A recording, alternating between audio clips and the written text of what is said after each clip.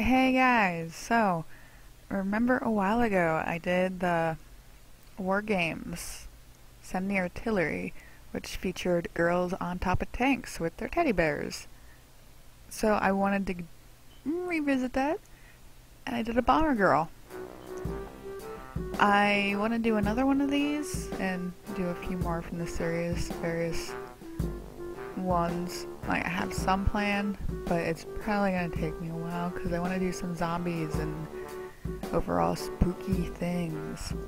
But I have been so behind on my YouTube, and I kept meaning to put this up like all last week, and I still have another video right after this I need to edit so it can go up tomorrow.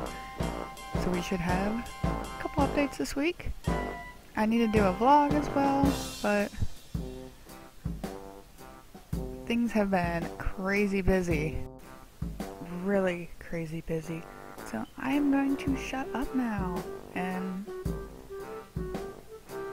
let you watch the rest of this painting.